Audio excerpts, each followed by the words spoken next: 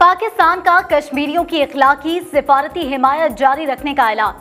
मकबूज आबादी से फौज की वापसी, मीडिया पर पाबंदियाँ, कर्फ्यू हटाने का मुतालबा।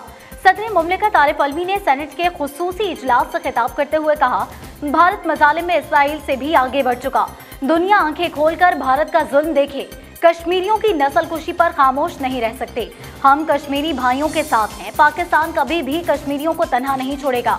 कुर्बानियाँ रंग लाएँगी, कश्मीर में जल्द आज़ादी का सूरज तुलू होगा।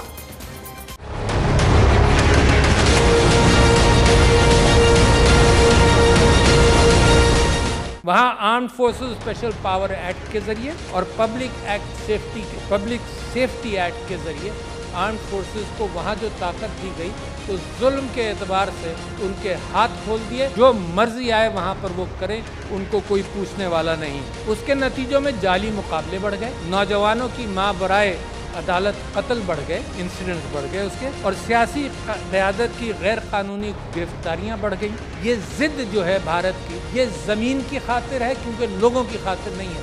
पाकिस्तान का मौक़ लोगों को आज़ाद करना है लोगों के ऊपर जो एक इस्तेदादी क़वत और एक ालिम क़वत है, उसको हटाना है। भारतीय आइन ने 370 और 35 ए के अतबार से ये तब्दीली की, ये गैर अखलाक़ी गैर कानूनी माबराए आइन जनीका, जनीवा कन्वेंशन और बैन अवी कवानीन की खिलाफ वर्जी है।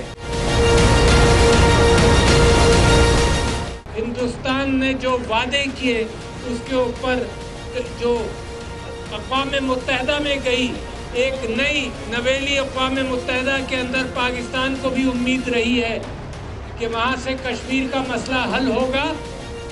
हिंदुस्तान के अकाबरीन ने वादे किए कश्मीरियों के साथ और पाकिस्तान के साथ।